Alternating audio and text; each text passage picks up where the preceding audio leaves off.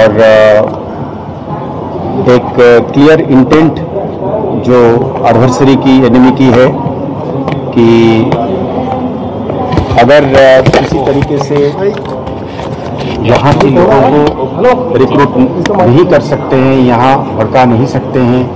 यहाँ पे दंगा फसाद नहीं कर सकते हैं, कश्मीर में भी नहीं कर सकते हैं तो एक इंटेंट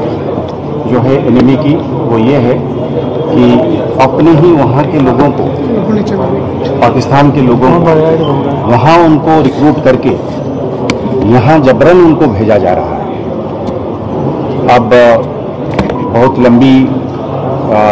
टेरान है हमारा डिफ़िकल्ट टेरान है जंगल है खाड़ी है पहाड़ है नाला है।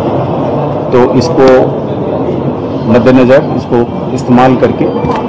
इसमें फॉरेन फाइटर्स फॉरेन टेररिस्ट्स को आ, अंदर डाल के इसको खासकर जामू जगह को अस्त व्यस्त करने के लिए और एक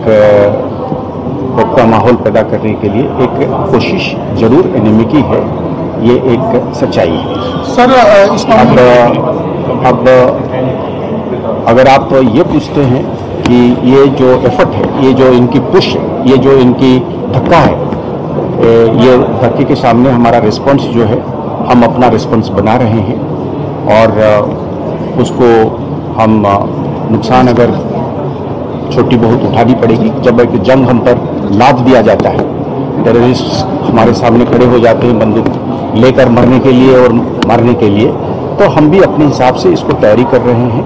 हम अपना सारे रिसोर्सेज को मैप कर रहे हैं और हम कोशिश कर रहे हैं कि इसकी मुँह तोड़ जवाब दिया जाएगा